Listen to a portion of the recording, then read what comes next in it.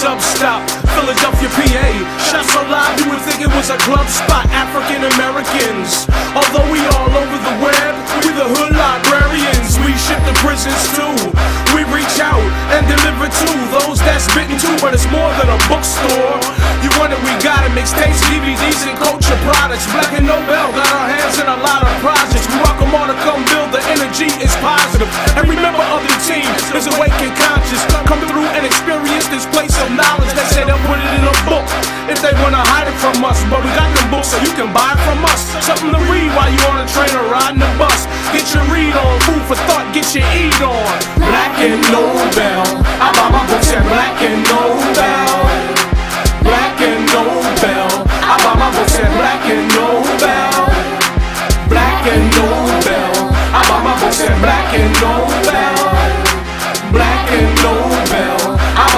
At Black Nobel.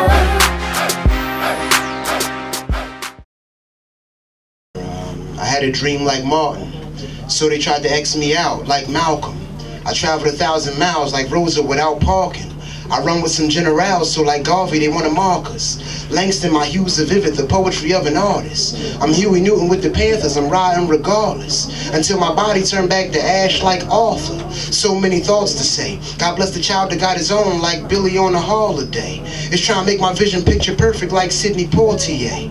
It got me light on my feet like Cab Calloway. Of course they say, I hear the angels in the sky calling me. They say we flow like Sojourner the Truth. I'm a red fox running through the Dianetics at Alex Haley just trying to find my roots. Harriet Tubman underground trying to set my troops loose. Silence of slavery, I'm Nat Turner when I speak in the booth. My vision clear, but I still can't see what's the use. Surrounded by the muddy waters. They want my game over like Rich Porter. Telling me I'm nuts like George Washington Carver, but like Thurgood, I'm a marshal. Bridging the states from the Trenton Makes to the Betsy Rosses. Thoughts of Earl Manigault got me balling harder and harder. We starving. The rap Jackie Robinson. Every hit we running farther and farther. Yeah, that's why they love us. We the movers moving the movement. The present day Frederick Douglass. Oh, More than I yeah, lost yeah, since the moment we lost him, like Susie Melvin, a rose that was blown away on the road to the struggle. More than I lost since the moment I lost her, to the day I'm blown away on the road to my mother. I say. Hey.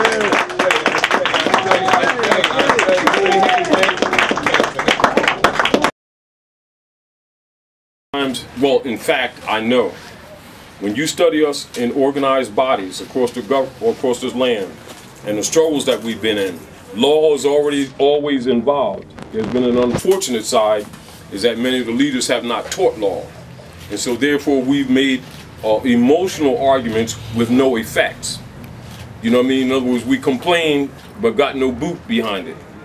Law gives you that boot to start bringing some remedy. Brother Muhammad, Assalamu alaikum, family. You know, it's always a pleasure just to be up here with you. You know, it's a pleasure. Relax. You can bring your chair up. Put them on the No, mic no, if you I want. got you that. I'm gonna sit back here. This is not my class. I'm just a guest. So alhamdulillah. My name is Muhammad Bashir. I'm an attorney out of New Jersey. I'm the author of the book Raw Law and Urban Guide to Criminal Justice, which is on sale over here. And uh, Can we have a, can I'm we just somewhat bring one of the books up, gracious please? for being here. I Thank you all for even having me here. Really Hold on for a minute, brother. Uh, No, you ain't rushing. We ain't letting you sit down And, and eat it. and tell them what your next stop is going to be as well. Oh, okay, okay. Um, I'm speaking at the Congress- Congressional Black Caucus on the 22nd because I had a funny feeling the Black Caucus needs to hear some of the truth about what is they've been doing for the last 300. Uh, they're only 50 years old, so maybe they're babies in this whole political game. But I don't, you know, so maybe we need to wake them up. Um, But that's on the 22nd. I'll be at the Black Caucus down in D.C. And uh, First of the year, book two will be out, inshallah. It's called the Raw Law 2, The Making of a Criminal, how it is that they go about turning what you thought was regular citizenship, regular participation in the society or any society into crime. And how you have bit into the idea that they have control over what it is and how they can define you, and you're no longer defining yourself. Hard cover, soft cover. So you got it both ways. Get the brother a hand. Oh, alhamdulillah. Good work, good work. Um, we have we have a good supply on the, on the desk up the front because we had them back here, but got a good supply up there. So anybody wants to pick them up, and I'm gonna keep these up here. So you want to pick them up, you got them. Um, I'll be calling you up again too, brother. Inshallah. And also, it's a good. Um, I think it'd be good when you go down there and talk to the brothers. because I know there is a degree also of dishonesty amongst them. And that dishonesty is um, that they know the real politics of this country. They're going to pay the price for not telling the truth too. And I understand part of it is intimidation, you know, but it is what it is. And you coming from where you're coming from, true. Um, my feeling is they'll accommodate you and pretend that they're totally sincerely receiving you when they're going to play the game until they know that you know what's really up. And we're not just talking about process of law Right. or the form of law, Right. you know, because most of the time they're talking about process of law. But the form of law they avoid. And the reason they avoid it because most of them, number one, are Masons and Eastern Stars. And in secret got a fez. You know, just like all the other rulers. And are very aware that they're standing on Morocco. And they know exactly why the president speaks under that bird and does not speak under that pyramid. And they know that they're standing on the Moroccan Empire. This is what I suggest. Because they're going to play dumb. Now I know I'm projecting this early, but I already know the game. So, you know, it's like this when a brother steps, you know, on behalf of us, because he's stepping on behalf of us, as soon as a brother come true with the honor and integrity, he's stepping on behalf of the people. And I already know they're going to downplay it because most of them's compromised. And again, like I said, there's another reason why I put the treaty book and the Constitution book together because I've been arguing this for 30 years, and mostly it's sort of like when you when you're around uh, erudite scholars who are really trying to help the people, you don't have any debate. It, there's no debate. However, you have others who also know that won't come out with it because they have to make other steps. They got to move in other directions that create discomfort. In other words, you got to rock the boat. Truth rocks the boat. And so this is a, a, another reason why I um, put the treaty book and the Constitution book together. And I also, because of the dispute and because of the hidden history, and of course the Masonic secrets, you gotta kind of drop some of the Masonic secrets in order to give the common people a view into what really is up, because they really don't know. You know, and even with this information has much to do with why they killed Malcolm, because he found out. And it's not that it's not a secret, because this is part of the supreme wisdom. It's just that the average brothers don't get it. You know, now I was assistant minister in the nation years ago. And those who are in the circles know. You know, Muhammad Ali's a personal friend of mine. You know, I got pictures of him holding my baby on the porch. Joe Tex and all the brothers, you know. And I was under Harrison when Jeremiah was around the corner. You know, so I'm I know that a lot of people know, but they it's sort of like you get caught in this thing when your family sometimes you know some people know some things and you don't want to rock the boat. However, Il Malik was character was assassinated uh, wrongfully because the same thing he knew, everybody else knew. That was in leadership, not followers, leadership. You know, and then all the so-called so-called black leaders knew anybody with 32 33 degrees masonry all knew because it's all the same thing because masonry is only islam going underground. Do you understand?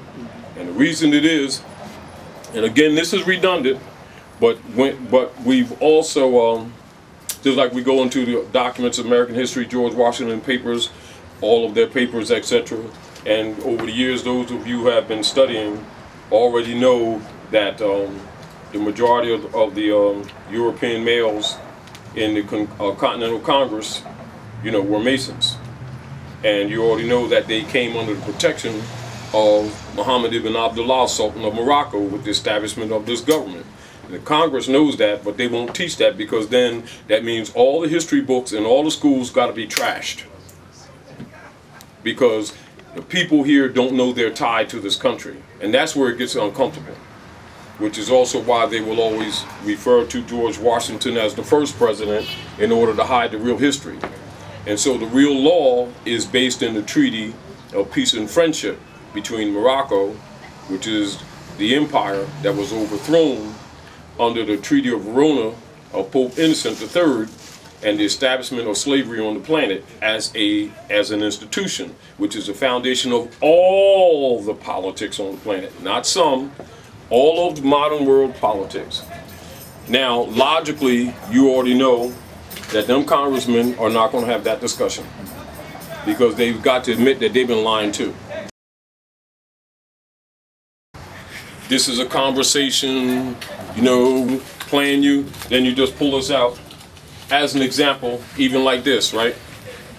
With the budgeting, U.S. budgeting, right?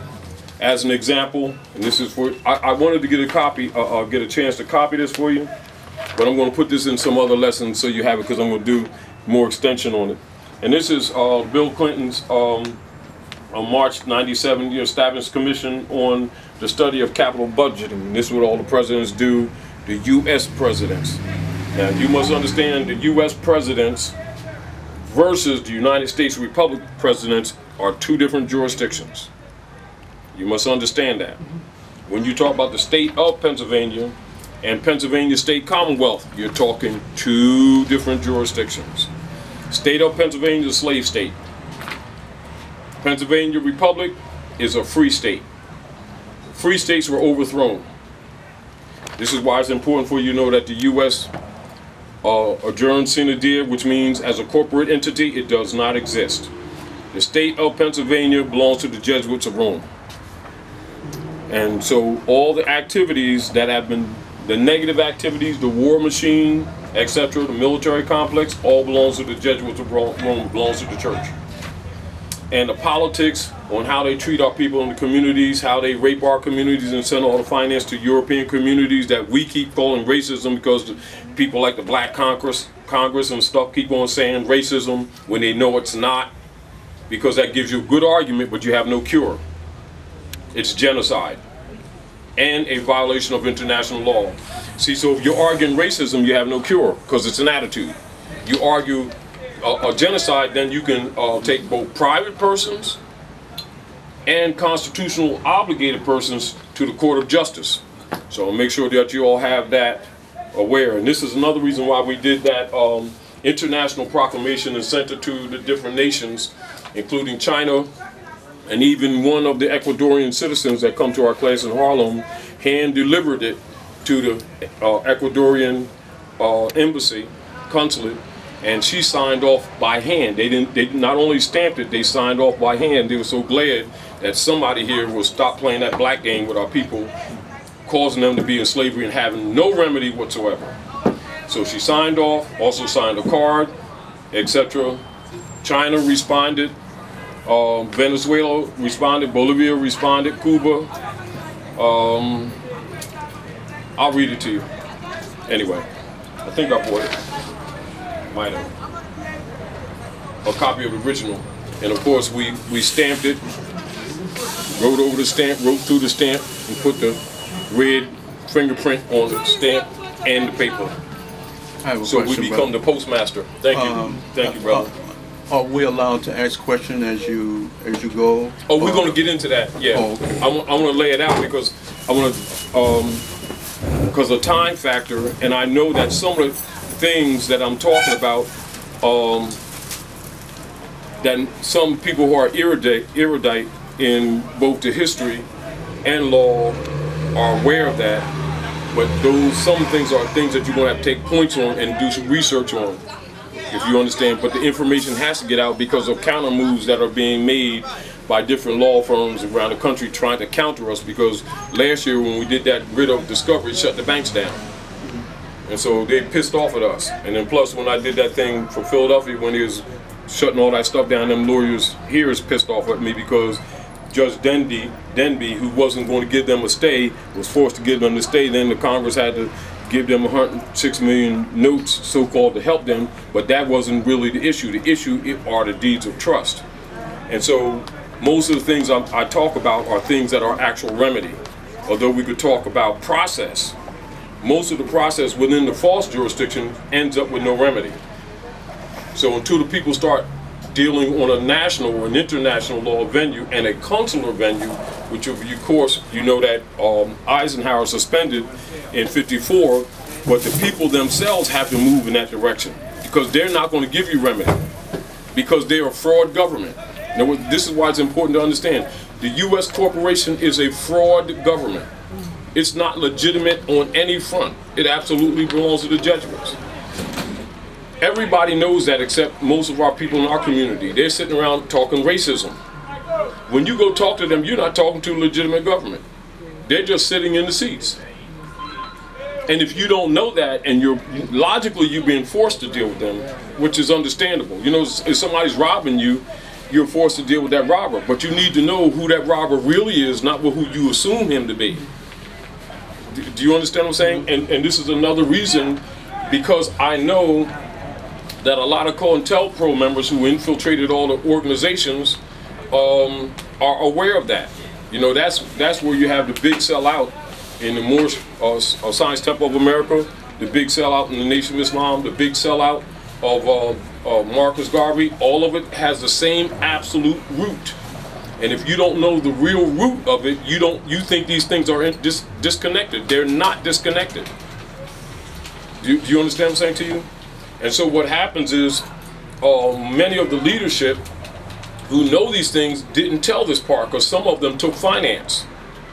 Do you, do you understand? To keep that black thing going when they know these people ain't black. Do you understand? But that allowed the 14th Amendment to be operating for the radical Republicans by which the people are listed as artificial Christian property. This is why the president has to vote every couple presidents for them to even vote using them European names. Now, logically, them so-called black congressmen ain't gonna tell that truth because they've been they've been part of the fraud. And they're not gonna tell these people that under war powers they're gonna get unseated. That's another reason why they locked that European up who, when he gleaned uh, parts of the King Alfred off the uh, government computers that they were selling at auction that wasn't supposed to be on there. He's in solitary confinement now. You know, and they know about King Alfred. But even when they talk about King Alfred, uh, uh, whether it's, you know, um, some uh, of the Asiatics who are activists trying to help our people, they conveniently avoid the part that lets these people know that they're tied to this continent by heritage. Because they have these people thinking that they just came from off that side. Do you understand what I'm saying to you? So what that does, that, that verifies, you understand, the sellout because it lets people know that Noble Drew was telling them the truth from day one. If you, you get the point? And and and and that allows, say, for instance, somebody who um, who basically doesn't even know law. If they recognize that they're tied to this land, they look at their whole process totally different. They won't be marching and praying and keeping hope alive. They will deal. They will be dealing with international laws of justice and charge this man with genocide. But see, if they charge him with racism, then they deal with Title 42, which is under 14th Amendment, and then they might give him two dollars and all that other stuff. You know, semi-suit, bounce them around for five years with some Negro preacher who's also a lawyer, acting like he's separate and playing games with them. You know, like they won something. When the real deal, that is that would be called because whenever there's a violation of national or international law, it is automatically what's called a federal question. And a federal question is not in the jurisdiction of any state court. It is superior. You understand? So it would have to go into what you call federal court. And then, of course, the U.S. corporation is illegitimate, so then it, because they turned all their officers over to the UN under the IMF in 1933 under the War Powers Act. Therefore, they're not legitimate. It would have to go to world court. So now they can't take these people to world court as Negroes because that indicates that they're property because no such nation of people exists on the planet Earth. Then they'd have to go to their birthright lineage. Then they'd have to go back to George Washington's paper, go back to the founding of his government, then have to tell these people that they're Moors. Now you got a problem. That's why the black Congress is not going to be honest with you. But not that they know. So what I did, I tied the, I tied the, um, I tied the, the Constitution together, and I put the Britain Moor coat of arms on it so they couldn't deny, because the Danes were, were Moors and the foundation of the politics in North America that the people keep calling racism is the Treaty of Verona. Now, and so that means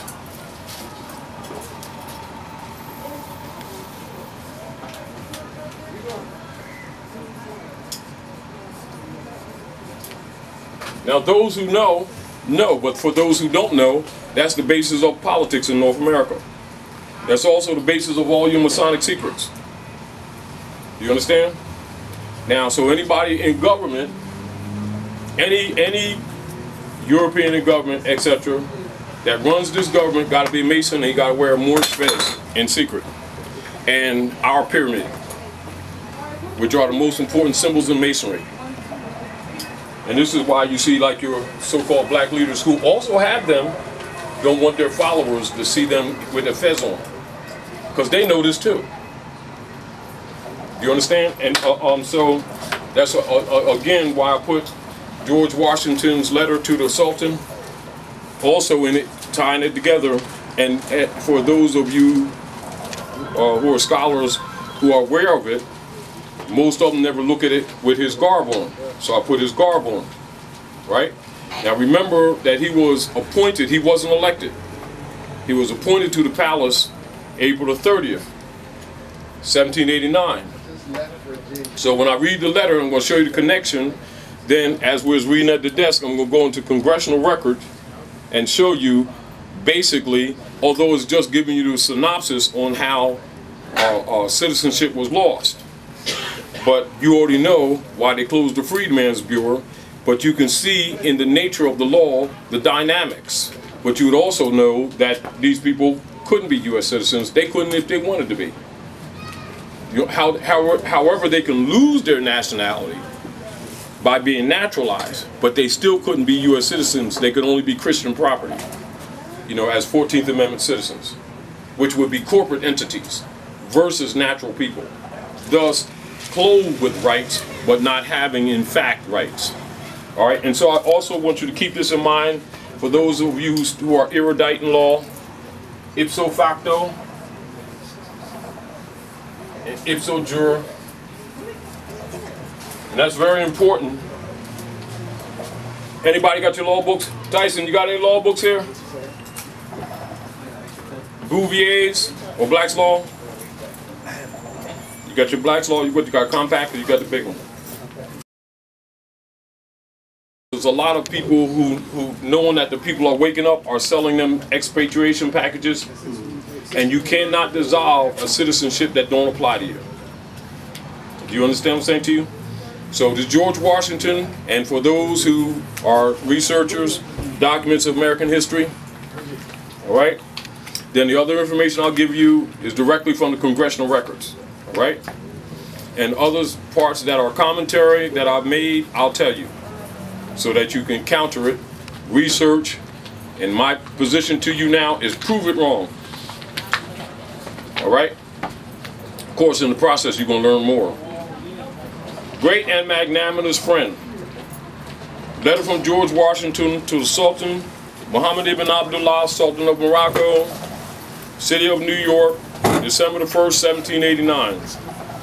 Great and magnanimous friend, since the date of the letter which the late Congress from their president addressed your imperial majesty, the United States of America have thought proper to change their government and institute a new one agreeable to the Constitution, of which I have the honor herewith to enclose a copy. So that also proves the connection and that also dispels those scholars who've told you that that Constitution has nothing to do with you. It has nothing to do with you as a black, because you're Christian property. But in your proper person, being of Moorish descent, it absolutely is tied to you because you were the sovereign. That's why it was necessary for them to remove your nationality, remove your religion, and brand you with European names so that whatever you bought or sold with that European mark became state property automatically. That's why it was necessary for them to close the Freedmen's Bureau on 1868 and establish the artificial person under the 14th Amendment and meet on a Saturday and create what is called an artificial person and all corporate entities are registered in Delaware as corporate entities, thus Negroes are property. That's the key to the property, all right? Now, so I'm going to, that's the first paragraph. The time necessarily employed in the arduous task and the disarrangements occasioned by so great though peaceable a revolution will apologize and account for your majesty's agriculture and commerce, but our soil is bountiful and our people industrious. And we shall gradually become useful to our friends. Pay attention to this paragraph, Ray. Close attention to this paragraph. The encouragement with which your majesty has been pleased generously to give to our commerce with your dominions, we think you're standing. Now you understand that pyramid on the back that dollar bill that no politician speaks under? The punctuality with which you have caused a treaty with us to be observed, and the just and generous measures taken in the case of Captain Proctor make a deep impression on the United States and confirm their respect for and attachment to your Imperial Majesty. It gives me great pleasure to have the opportunity of assuring your majesty that while I remain at the head of this nation, I shall not cease to promote every measure that may conduce to the friendship and harmony which so happily subsist between your empire and them, and shall esteem myself happily in every occasion of convincing your majesty in high sense, which in common with the whole nation I entertain the magnanimity, wisdom, and benevolence of your majesty, May the Almighty bless your Imperial Majesty, our great and magnanimous friend, with his constant guidance and protection, George Washington. New York. So George Washington had to take his first, first oath of office on Dey Street, Dey Street in New York. And that's how it's spelled.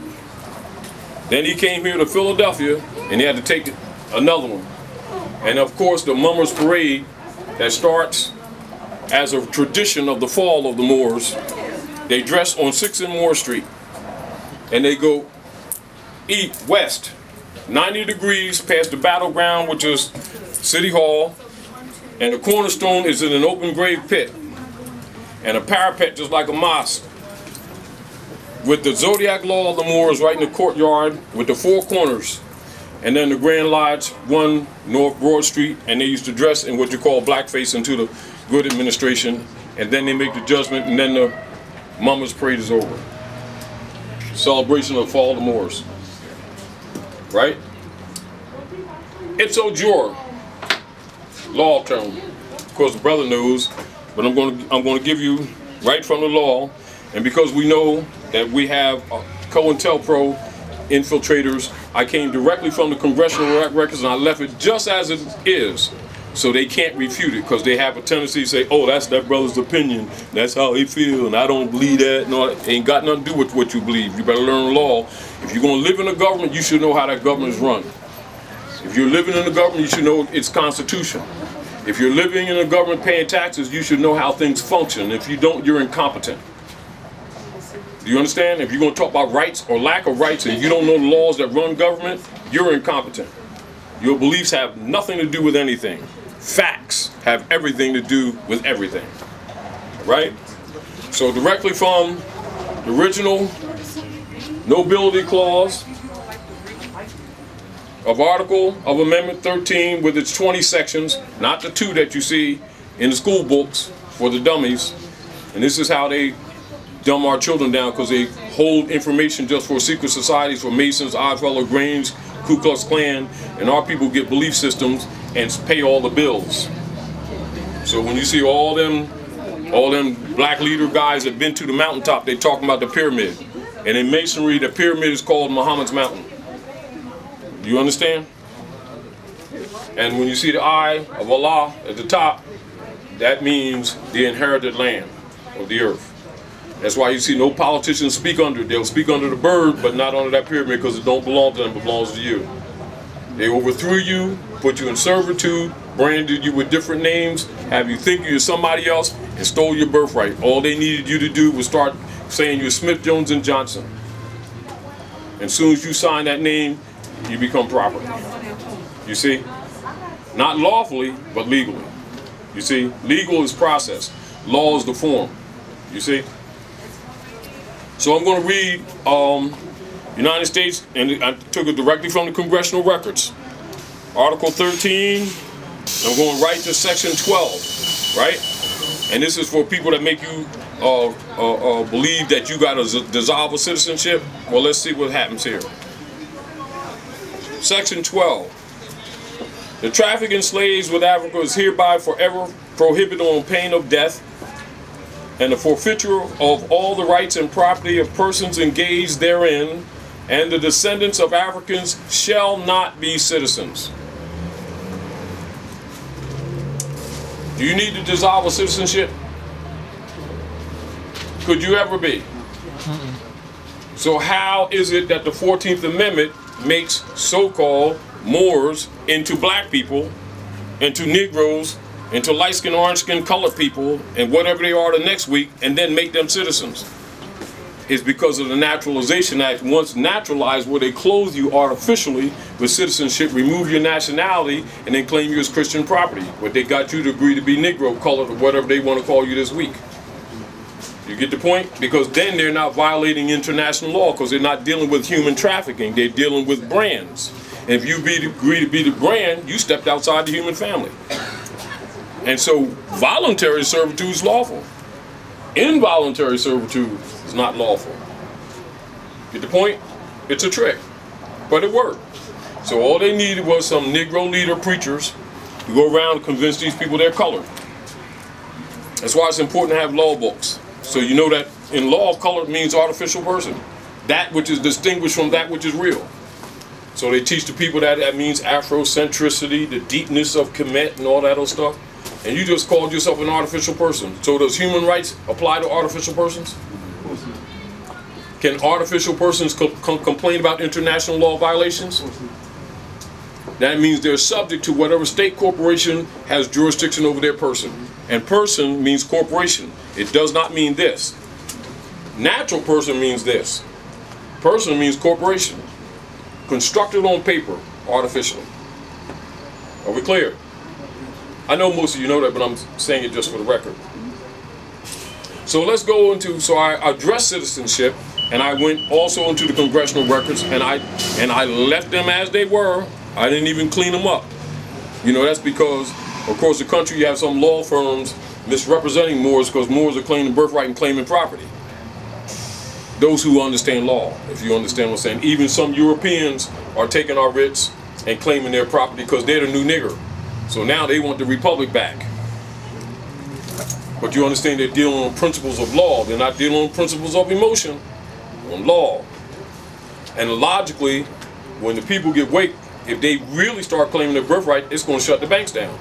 And so when it shuts the banks down, you know that affects the Rothschilds and all of them, and of course the Treaty of Verona, which is really all the secret societies operate on, and then that's Pandora's box.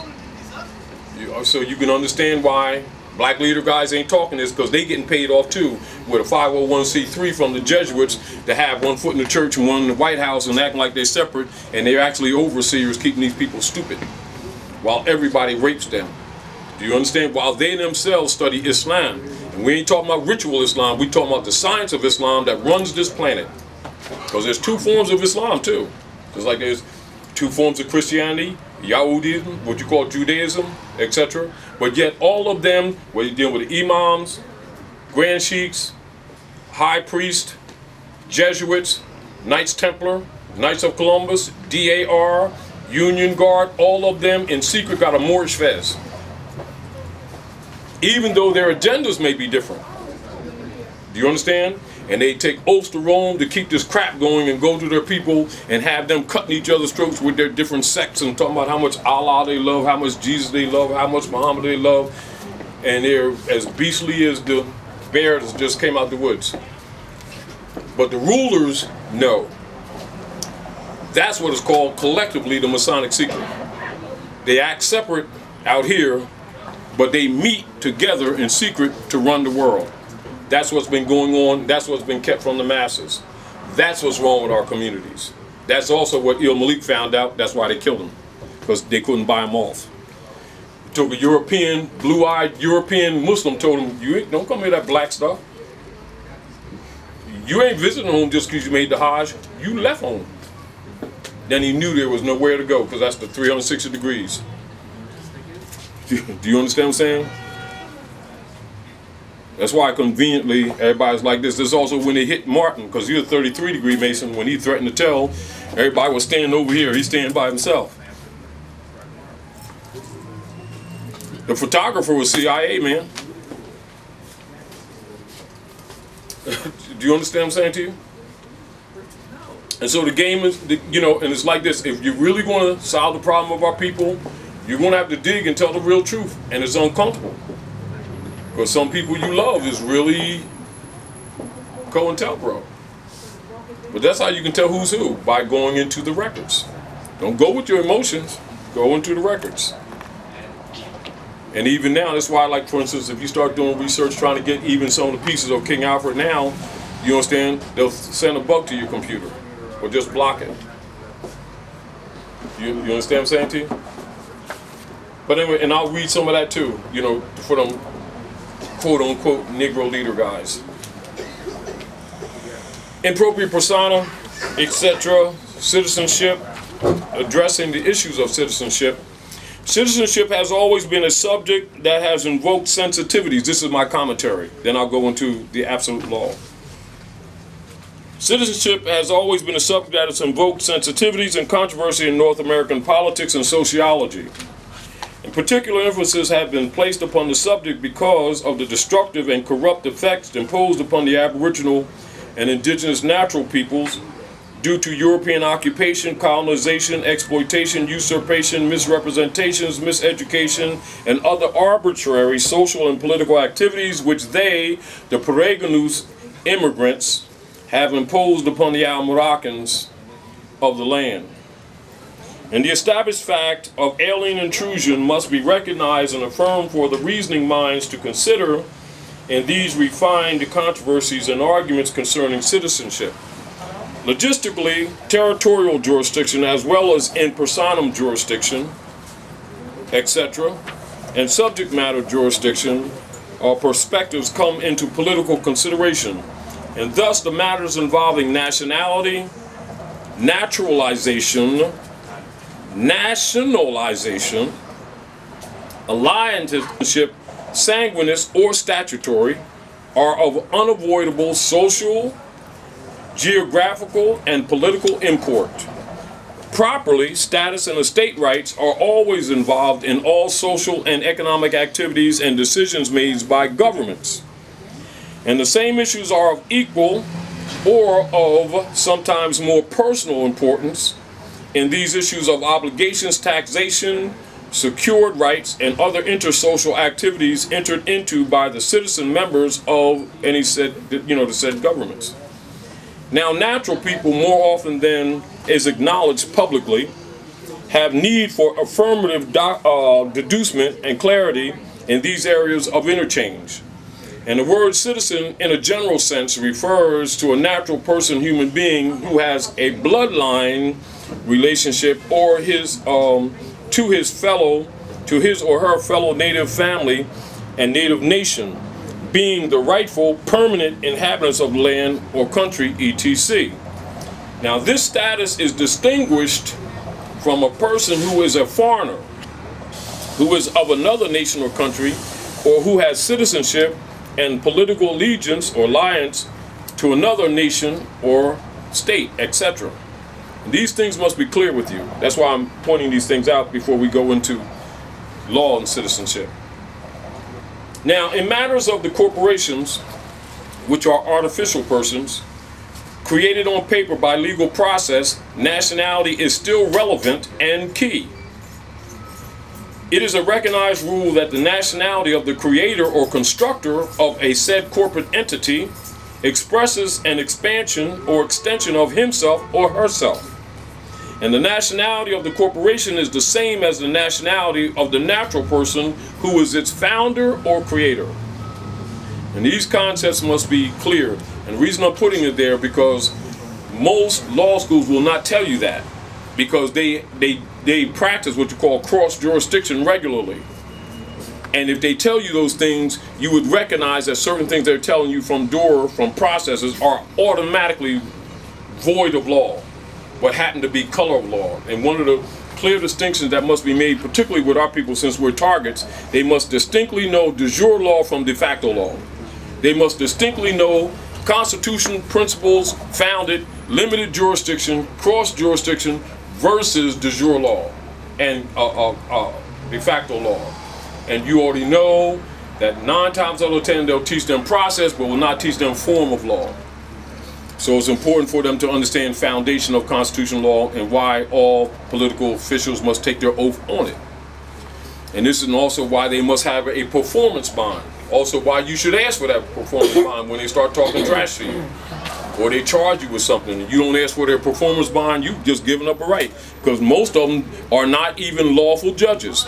They are administrative, ministerial clerks exercising judicial authority and powers that don't belong to them, i.e., they're racketeering.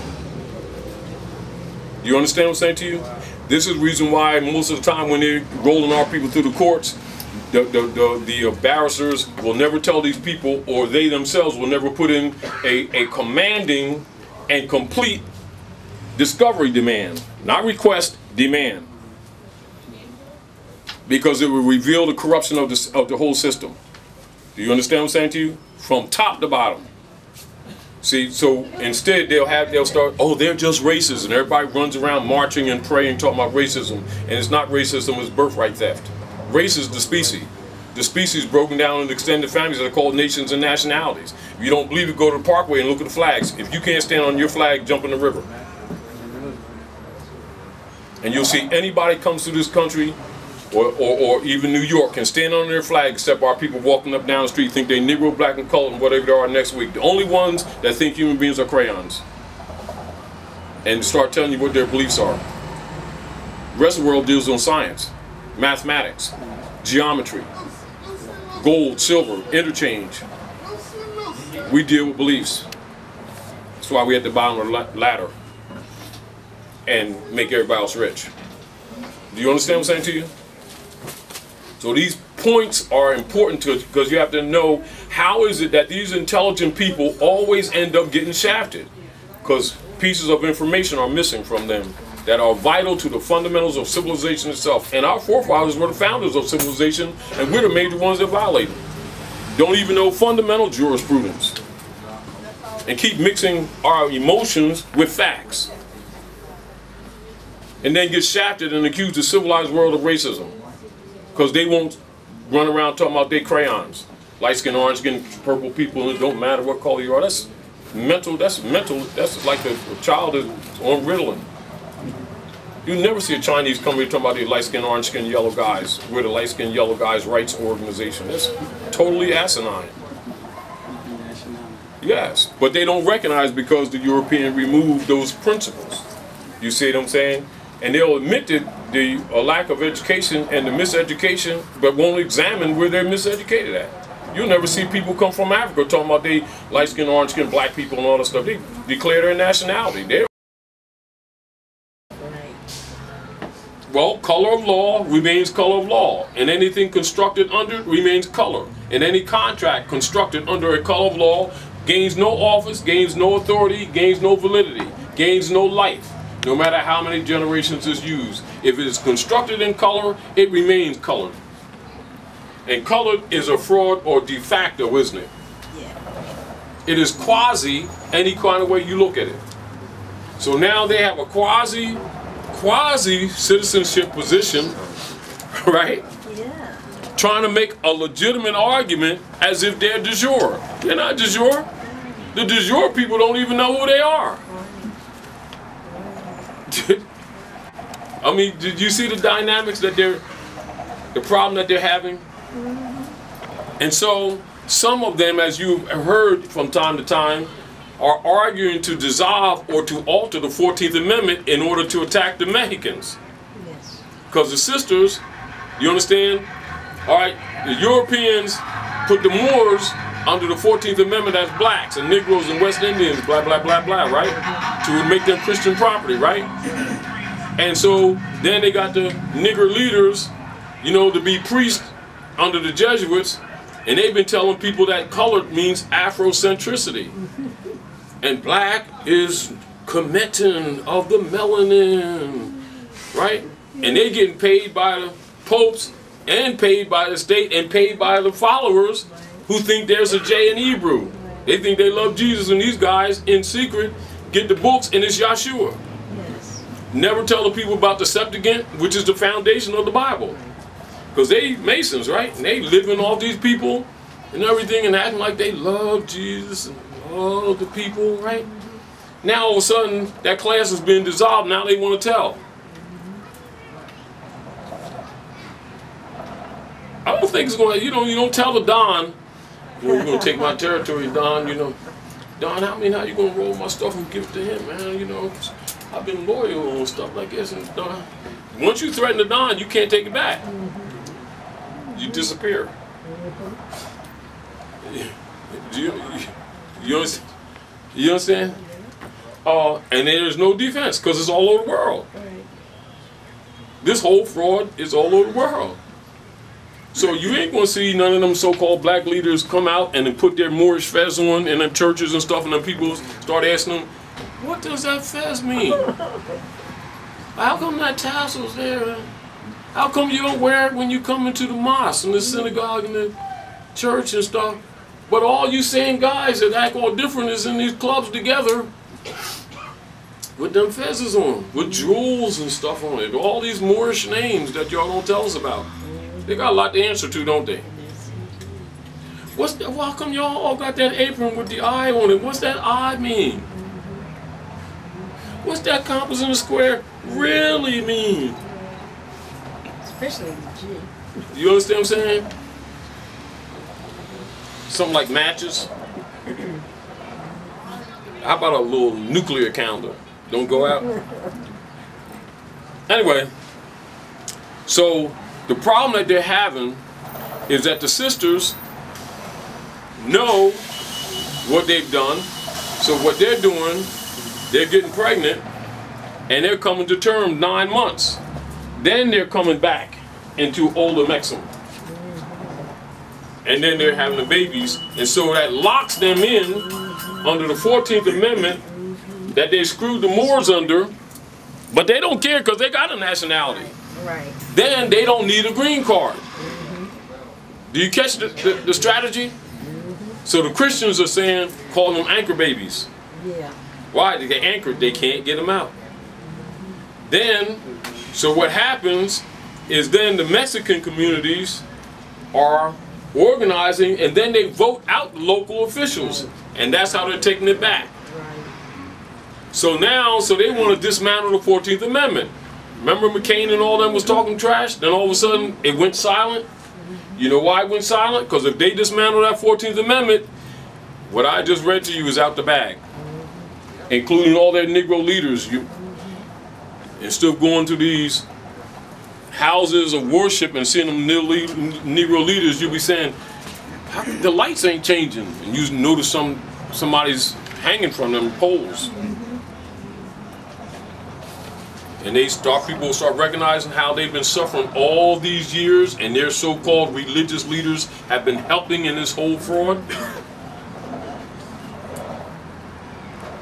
You only have to tell nobody why they murdered Malcolm. They'll know it immediately so you know that means for all the rest of them and they knew this all the time all the time and many of them had nationality cards at the same time. That's why before they murdered the brother, they said, "Get your hands out my pocket." That was a Yes. signal. Why? Because they was being paid off.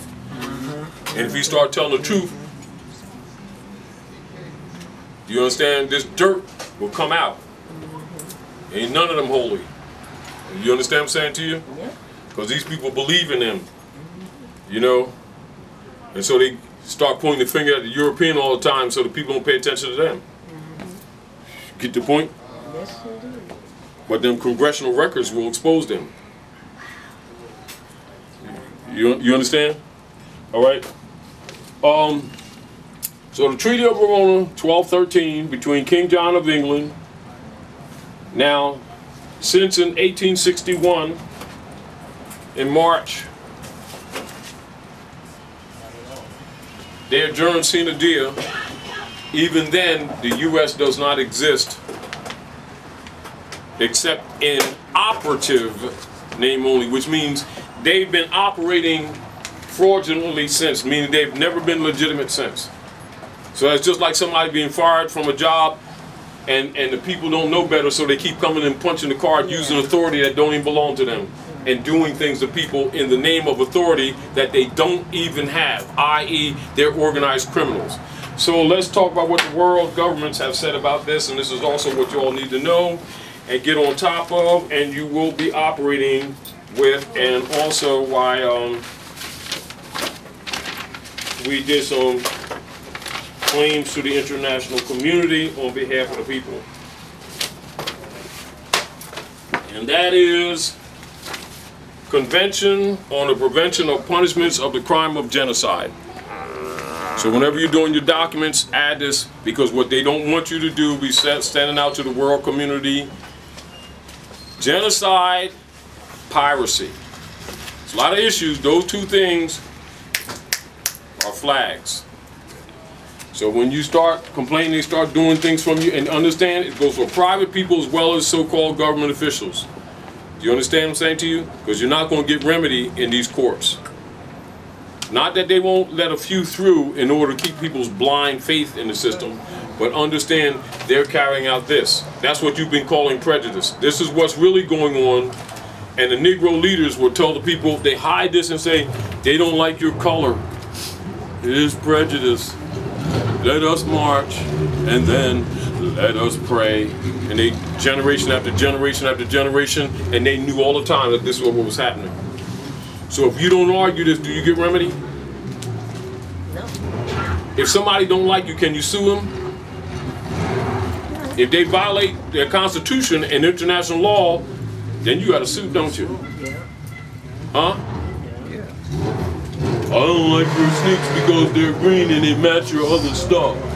Oh man, he's racist. Well, sue me. You, do you understand? Yeah, because there ain't nothing gonna happen. Yeah, I told him he was a racist. You did? You wasn't scared? Oh man, that brother called him racist. Oh, like you just did something. Yeah. And in line tomorrow paying tickets, running the townships. On fraud law. Converting people's rights into crimes. But they don't want to study law. You see what the problem is? Hmm? Anyway, Convention on uh, Prevention and Punishment of the Crime of Genocide. And what I'm going to do, I'm going to put this also in the back of the Rights of Indigenous People with the updates that Obama signed when he came back from overseas. So I'm going to put it in the back so that you don't have to go somewhere else for it. It'll be there. You know what I mean? And available to you. And we're going to put a couple more writs on the site as an example and also some examples on um, the addresses of the International Court of Justice so that you can you can start doing electronic mailings, etc., notifying uh, the International Court of Justice for violations, etc. Adopted by Resolution 263A of the United Nations General Assembly on, on 9th December uh, 1948, and of course the last edited was uh, January 27th, uh, 1997. And as you understand, these things would have been given to our people, and they sitting around marching, and talking about civil rights when they should have been talking this. So you can see how they've been diverted by their own so-called guys who who have been telling them this. International law doesn't protect people without a nation nationality because laws come from nations, not from crayons. Human beings aren't crayons. They have nationalities, they have a bloodline. Without the honor of your mothers and fathers, you can't enforce international law because you're not a part of it. That's called dishonor. And when you start arguing rights, you're in contempt. Do you understand what I'm saying to you? That's why you have a bar association member represent you because nine times out of ten you're using their name anyway. Get the point? All right. Um, Act three: The following acts shall be punishable: A. Genocide. B. Conspiracy to commit genocide. C. Direct and public incitement to commit genocide. D. Attempt to commit genocide. E. Complicity in genocide. Article 4. Persons committing genocide or any of the other acts enumerated in Article 3 shall be punished, whether they are constitutionally responsible rulers, public officials, or private individuals. So that even goes for them. Private individuals think they're getting away with it. So one of the things that you want to start doing is whenever you get traffic tickets, uh, whenever you go into court and there's not a, a trial by jury, yes, you're looking at these cases, but do not fail to remember this. So make pre-forms. Make sure you get the judge's name. Make sure you get the prosecutor's name. Anybody that you see in them offices, you know, keep a low profile. Take every name that you can see, from the policeman that give you a ticket on the street, and be prepared to send it to the International Court of Justice and learn to do so. So make pre-forms, just like they make pre-forms and give you tickets, make pre-forms and start filling in the names, numbers, etc. Do research, find their performance bonds. As a matter of fact, write the commissioner when you make these claims and tell them to suspend their performance bond until until the issue is satisfied. And when you send it outside this country, they can't cover it up. So get used to it. And we're going to be putting those protocols on the sites with links so that you can find out, so that you can defend yourself. Because the nigger leaders ain't going to defend you because they are agents working with them. Do you understand what I'm saying to you? Meaning that you won't need no lawyers. You need to get active. You need to understand what powers you have that you haven't been using. Do you understand what I'm saying to you? And we're going to do the best that we can to see that you are empowered, that, you don't need no leader guys who've been selling you out anyway. Act, uh, Article 4. Persons committing genocide or any of the other acts enumerated in Article 3 shall be punished, whether they are constitutional, uh, responsible leaders, public officials, or private individuals. That's reaffirmed for you. Article 5. The connecting parties undertake to enact, in accordance with their respective constitutions, the necessary legislation to give effects to the provisions of, uh, of the present convention, and in particular to provide effective penalties for persons guilty of genocide or any of the other acts enumerated in Article 3. Persons charged with genocide or any of the other acts enumerated in Article 3 shall be tried by a competent tribunal of the state in the territory of which the act was committed. So therefore, as you can understand now, you challenge the jurisdiction of the states to make sure that they actually begin to operate in a proper judicial manner so that they can't bury it. And make sure that whenever you're addressing them, make sure that you also carbon copy. And so if you're going to deal with any of those departments, make sure you also send to the Human Rights Division of the United Nations because the U.S. put all their departments, transferred them all to them. Therefore, they're a corporate body. So you make sure you're going to write to the COs. And when you argue with them, don't keep on arguing with these little guys on the street. Go right to the heads and never just send it to one department because they will try to bear it because you can try you can charge them in an international court. So they're always going to bounce it around. That's why you see them. They're always flipping judges and changing lawyers and trying to force lawyers on people and everything because they know that they're corrupt. But they know that most of the people don't know that they're corrupt. That's why you got to start making con- connections on the outside. Do you understand? Get used to it. Um, genocide and other acts are, um, enumerated in Article 3 shall not be considered a, as political crimes for the purpose of extradition. And the contracting parties pledge themselves in such cases to grant extradition in accordance with the laws and treaties in force. Also, I want you all to do some research, and you'll see where uh, Mexico, Germany, Paraguay, and a few other countries have sued the United States on behalf of citizens that they either prosecuted, executed, or, or, or given jail time without notifying the consulars of those nations. And just because the U.S. Uh, uh, suspended consular courts to block our remedy doesn't remove the fact that the rest of the civilized world don't know better. That's to bring you up up to date on that. All right. So you'll recognize that they are being addressed, and you need to address them the same way. This is the reason why they they you know brand these people's crayons so they would not have uh, what you call due process because consular court would be the automatically automatic because Article Three, Section Three, uh, Section Two would deal with diversity. And see, so it's automatically diversity, even as expressed in all the congressional records where you couldn't be citizens, so diversity is automatic. So since Eisenhower shut down consular court, that gave the people no venue. You see? So just keep that in mind so you can you be- thinking no lawful venue. Not they didn't have a venue, they had no lawful venue. And so that allowed them to institute, you know, those colorable courts given the appearance of due process when there was not. And with less and less of it ever intending to be due process. And that's how they packed the jails with our people. You know, people call it racism. And look at so many, so many percentage of the people in jail is black. Yeah, they're black because there's Christian property. But if there was nationals, they wouldn't have got away with that.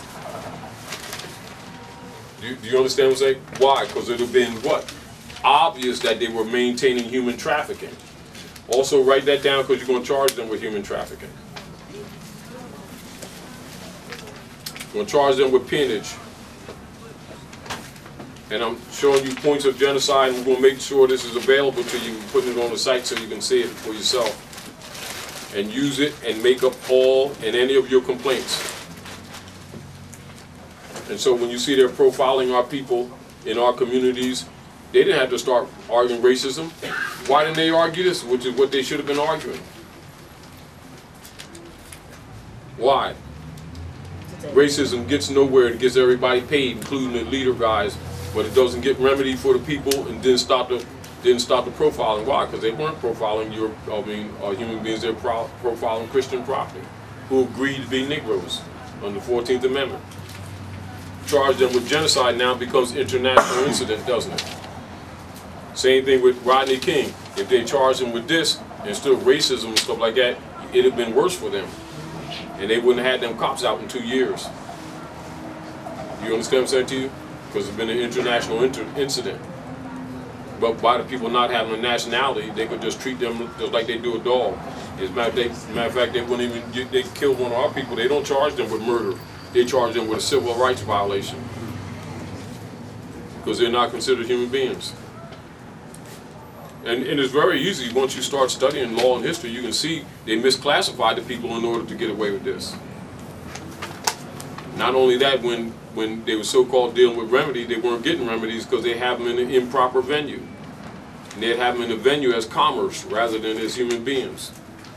You see, as chattel property. They just weren't saying it, but the venue is for chattel property. You see, but by the people thinking that slavery was ended, they just thinking it don't matter what color you are. It's chattel courts, and known that they're chattel courts. You see. So if you know what it is, your argument will be different, wouldn't it? And um, so there's uh, 19, 19 sections, and so we're going to add that. We're going to add that to the rights of indigenous people, and so that'll that'll be updated.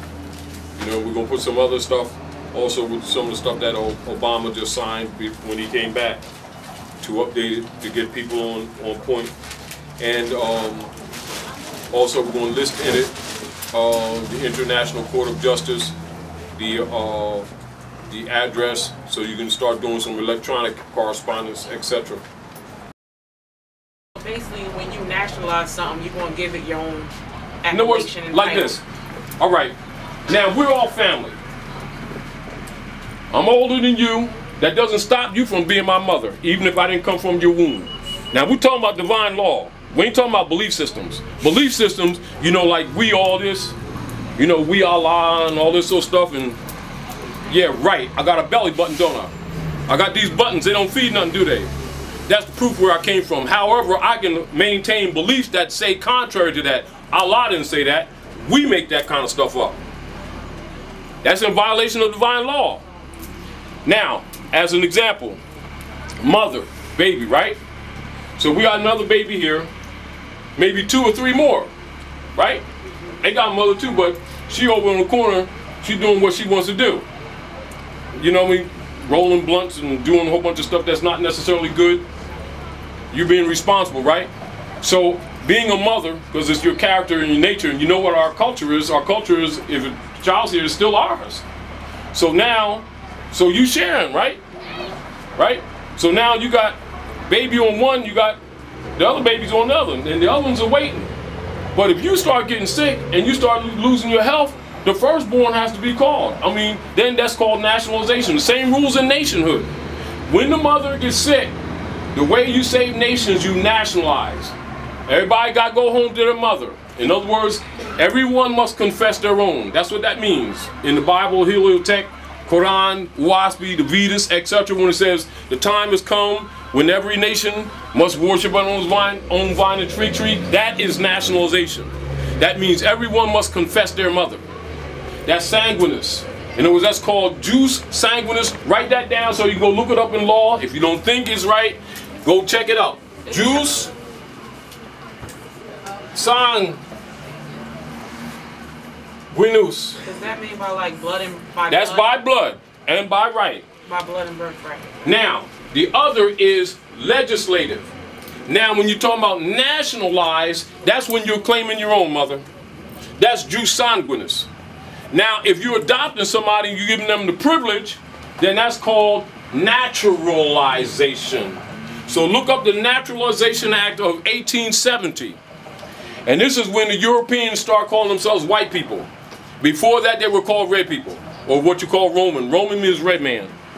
So you got to know history and law to understand the dynamics of your politics. Could you repeat that um, Naturalization Act of Nat uh, 1870.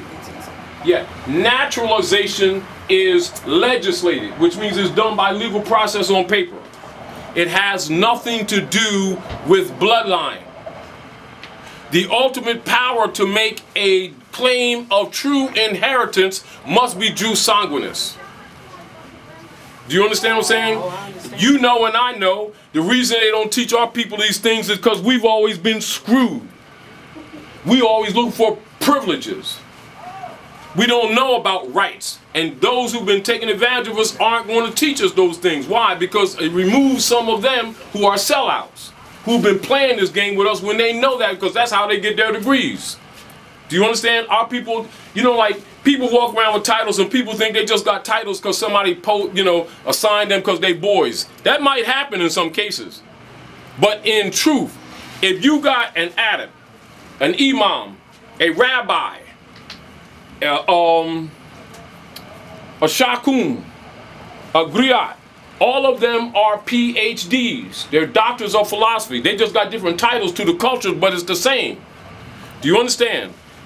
Now, people are assuming that that's because they had this morning they got up and they talked to Allah or they talked to Jesus, Muhammad, and, and Moses, and all of a sudden they are ordained. No. They must know the history. Do you understand what I'm saying? And they're playing people because they get these degrees. All of them get them. Do you understand what I'm saying to you? What happens is when they go out into their clubs because they keep people divided so they can make sure that they get theirs and they ain't competing with the other one next door. You understand? When that truth can all be traced to one source. All of them. Do you understand what I'm saying? And they must study religion in order to know that. In other words, the same principles that, like as example, the same principle uh, of the story of Isis and um, Osiris, where she had they chopped up the pieces, scattered them, and etc., and she brought them back together, and so now he's potent, and then now we got Horus, which is the sun, right? That same principle is demonstrated with Prophet Muhammad, peace and blessings of Allah be upon him, when he went and because of the corruption and got all the fundamental truths out of all the major religions and brought them back together. That's why Islam does not interrupt the, the customs, the local customs, but yet it is universal in character. Are, are we clear? Therefore, people need to understand the principles, the universal principles, and not get confused with different customs that you may see in different nations with Islam just because they're customs. But the principles are universal to the brotherhood of man. Do you understand? It's not a bias. Do, you understand what I'm saying? However, people who study will take on the different principles and bring their own biases in, then start creating sects. And there is no secularism in Islam. As long as it remain to its order of universal truth. But then when you bring secularism in, whether it's Judaism, Christianity, etc., then it creates divisions. But yet the rulers know the truths, the fundamental truths that is all built on, which means like, so if I see there's seven golden candlesticks in the book of Revelation, right? As a as an Arab and as a Sheik, I already know that that's also symbolic of Elah, which is also symbolized by the seven circles around Kaaba. Do you understand? That's ritual, but there's a science and there's a philosophy in there, and it can be found from Africa into Hindustan, into China, into all the tribes here. Do you understand what I'm saying? But yet it's been distorted by people or rulers who've been taking advantage of the people and have them cutting each other's throat when they themselves know the truth. And they could solve the problem of confusion in religion overnight if they wanted to. Do you understand? That's why they murder all the prophets every time they come around. And they say, oh, look what the devil did. The devil ain't kill them. It's always organized religionists that murder the prophets. What was devil run Prophet Muhammad out? Or was it the devil that so-called lynched It was his Esau? It was people calling themselves religious. What do they always do? Come to them and give them the opportunity to stop the BS and tell the people the truth. Right? Then they conspire, either run the prophets out, murder them, and then tell the people, look what the devil did. We gotta raise some money to fight the devil and start crying, talking about they got roof leaking roofs and everything. They're the problem. However, it's uncomfortable. It's a very uncomfortable truth. Now, all high priests know because they're taught that the devil's a myth created by the Jesuits for world rulership. It doesn't mean that there's not evil spirit or evil character or the lower self and the higher self, which is really us. Do you understand what I'm saying to you? And so they got the masses of people looking for this devil that they created, right? And know better. But the world are bound by that, aren't they? Aren't they? give you an example. I don't know if I brought it with me. Now, if I was having a, a private conversation, right, with priest, rabbi, etc., Brahmin, none of them would disagree with me privately. In public, they call me a rebel if it interferes with their finances. Or if it interferes, Islam, brother, if it interferes with their club members uh, being independent in thought from their mind control. I was trying to see if I had brought with me a book of the East. I apologize. I don't think I did. I think I gave them all up in Indiana. But anyway, I do apologize. One of my favorite chapters from the Circle 7, from the Book of the East, is chapter 7 and chapter 8. And this is where they tell you that the priesthood is dead. But that same lesson you can find in China. That same lesson you find in Tibet. That same lesson you find here. You said the, the, the, from the east. Uh, The Book of the East. I have it in the car. You want me to get it? The Book of the East? Yes, please. the Secret Brotherhood of East. And that's why when Hoover infiltrated the, the, the, um, the movement, that's why a, a, a lot of the, the people who was working with Grant, with uh, working with uh, J. Edgar Hoover didn't tell a lot of the Moorish Americans about it, while the prophet told them that this is no secret organization. He says, I'll pull the cover off all secret organizations. And you see half the Moorish Americans never even seen the book, don't even know it exists.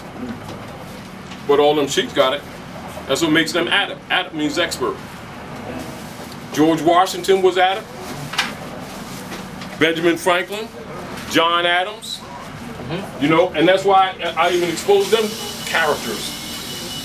You know, because people's concept of what they think masonry is and what it ain't is in is in totally incorrect. Um,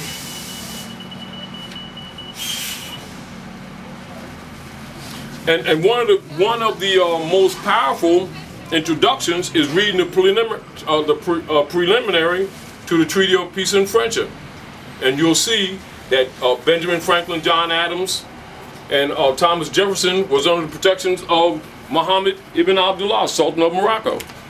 And that's why they were assigned the president's seat um, after the Republic was adopted and they sent to the Sultan a copy of the Constitution for his approval. That's also why they don't read that letter in school, because it makes the people recognize that they're tied to this land. You see? Um, now, of course, for those who don't know, thank you, brother. It's one of my favorite chapters, and then you can see why some of those uh, brothers don't let the followers hear this, right? Council of the Seven of the World, Mysteries of the Silent Brotherhood of the East is the second half of the Circle Seven. All Adepts get it. All Grand Chiefs got it. Um, Council of the Seven of the World. In every age since time began, but seven sages lived. At first of every age, these sages meet to note the course of nations, peoples, tribes, and tongues, to note how far Philo's home the sages met. From China came Meng-ste, from India Vidyapati came, from Persia Kaspar came, and from uh, Assyria Ashbina came, from Greece Apollo came, Matheno was the Egyptian sage, and Philo was the chief of Hebrew thought. The time was due. the council met and sat in silence seven days. And then Meng-ste rose and said, The wheel of time has turned once more, and the race is on a higher plane of thought. The garments that our fathers wore have given out. The cherubim have woven a celestial cloth, have placed it in our hands, and we must make for men new garbs. The sons of men are looking up for greater light. No longer do they care for gods hewn out of wood. They seek for Allah not made with hands. And they see the beams of the coming days and yet comprehend them not. The time is ripe and we must fashion well these garments for the race. And let us make for men new garbs of justice, mercy, and love, that they may hide their nakedness when shines the light of coming days. And Vidyapati said, Our priests have all gone mad. They saw a demon in the wild, and at him cast their lamps, and they are all broken up, and not a gleam of light light has any priest for men. The night is dark, and the heart of India calls for light. The priesthood cannot be reformed. It is already dead. Its greatest needs are graves and funeral chants. The New Age calls for liberty, the kind that makes each man a priest, enables him to go alone and lay his offerings at the shrine, on the shrine of Allah. And Kaspar said, in Persia, people walk in fear. They do the good for the fear of doing wrong. And the devil is the greatest power in our land, and though a myth, he dandles on his knees both youth and age. Our land is dark, and evil prospers in the dark. Fear rides on every passing breeze and lurks in every form of life. The fear of evil is a myth, is an illusion and a snare, but it will live until some mighty power shall come and raise the ethers to the plane of light. When this shall come to pass, the Magian land will glory in the light, and the soul of Persia calls for light. That's why the priests won't let people know this because the priesthood is dead. And they're preoccupied trying to preserve the priesthood, and they know they've been holding these secrets of Allah from the people. That's why they ran Prophet Muhammad out. That's why they assassinated the Nazarene because he brought, they brought the light. And Prophet Muhammad came to, to complete the works of the Nazarene. Do you understand? That's why they keep in the history books and when they present it to the people, they keep separating them when they can could be traced to the same Gnostic culture. Thus, Kaaba and the culture, Kabbalah. And the science that runs this planet. And the redemption of the people is exposing the knowledge that all the priesthood have. That's how you free the people. And you're not going to free them any other kind of way because belief ain't going to fix nothing. You got to have knowledge. You understand? And logically, the priesthood is upset. So when people reveal them secrets, they want to get rid of anybody. That's why Drew Ali say, in order to change these people, you got to change their literature. Now he put people in place, gave them them degrees, and what they did, they sold out. That's why we battling right now. Our people being thrown out on the streets with these fake mortgages and everything else being profiled with these Europeans. They don't even know they're Europeans. They calling them Americans. Don't even know geography. Run around voting with European names and talking about freedoms and rights and marching and praying. You understand? Meanwhile, in secret, you can go right there in that lodge. Go right there in the lodge right there on Broad, Broad Street. These people don't think these people don't know what's up. They got carpet up there in the Morris room with my eye, wings on of course more than your house. Got more Islam than you got. And they come out on the street talk about that Christianity and everything else. They running you with your own stuff. Got a scimitar over the head of the Sphinx, which means the subjugation of the Moabite woman. And we've been going along with that crap. And that's what it's all about. Now that's just the real truth. And it's uncomfortable, it's still the real truth. Don't like it, it's still the truth. And if we were so right, we wouldn't still be screwed. You know, I want a sign of insanity. Keep doing the same thing, looking for a difference, and nothing changes. And you talking about you saved or you got it going on. You ain't got it going on. Our babies are dying younger and younger on the street. Our families are falling apart. Everybody comes here from any other country, make business immediately, and our people still getting screwed and lying to their babies, talking about how saved they are, and talking about how much Allah, Jesus, Muhammad they got. We're liars and we're hypocrites. And we need to stop it. Now that's the truth. We need to start fixing something. You got some answers, you got some math, add it up. And if you don't add it up, get rid of it. Hmm. It's what it is. Handle it. And that's the truth, because that's how all of them get their degrees. And, the, and most of the followers don't even know fruition even exists, never even heard of it. I'm an addict. I got fruition. Because that's how you get that degree. And them imams got it too. And them preachers got it too. And them rabbis got it too. Because that's how they get their degrees. How come they ain't telling the believers? How come they ain't telling the followers? Because they're paying the bills and mopping the floors. While they got golden threads through their turbans and making deals with these Europeans, oil deals and land deals, while our people are suffering, acting like they separate. They don't even need passports to go into the different countries. Hmm. Bush and, and Osama and them's family got a construction company together. They go bomb countries and then go build them up. They're attacking all the Muslim world right now to make sure that the Muslims don't get up again. Do you understand what I'm saying to you? That's the Treaty of Verona. And they're carrying it out. It ain't prejudice. It's the Treaty of Verona. And that's the basis of all the world's politics. And if you don't know what the basis of the politics are, you can't fix nothing. I don't care how emotional you are. And we cannot afford to be emotional. And we definitely can't put that on our babies. If they're going to take their places in the affairs of men, they're going to have to know real politics. Not what they think, not what they believe. They're going to have to go with what they know. Because the world operates on mathematics and on truth. It doesn't, it doesn't operate on your feelings and your beliefs. They pump beliefs for the basics. You understand what I'm saying? And they keep the people here in belief and faith. And the people don't even know the other four parts, the other five parts. They don't even know it exists. You ask an imam what this is, in secret, he'll tell you. Rabbi, he'll tell you. Shakum, he'll tell you. Adam, he'll tell you. Grand Sheik, tell you. Master Mason, tell you. Ku Klux Klan, tell you. DAR, tell you. Jesuit, tell you. How come all their followers don't know this, don't even know this exists? Hmm? They don't even know what has a front, has a back. You tell them neophyte, they wouldn't even recognize it. I mean, they, they're familiar with scholar. They don't even know what neophyte is. You understand? They heard this before, but they don't know this goes with this. That's why when they do their rituals, they always have three candlesticks. There's the third rock from the sun. Shouldn't you know something about its rotation? Huh? Hmm? That's our that's our symbol, isn't it? Shouldn't people know that's Moon and Venus? Shouldn't they know their rotations? Shouldn't they know their energies? Shouldn't they know how they move the tide? Shouldn't they know how we plant food according to that? That crescent and the star is not just there for us to, you know, mix a lot. It's for us to understand how this thing operates on the, on the earth, how it moves the womb of woman, how woman herself is the walking calendar. We don't need no written calendar. All we got to do is study woman. You got it all. But since they adopted that BS from the Christians, they've mixed it with Islam. Now we've lost the culture, but we got the rituals down pat. And they ruling us. When we taught them. It's kind of arrogant for us to take a position like we superior. Or we got some kind of power that we ain't got. And paying them taxes on our own land. Need a license on our own land to go cross town and getting profiled anyway.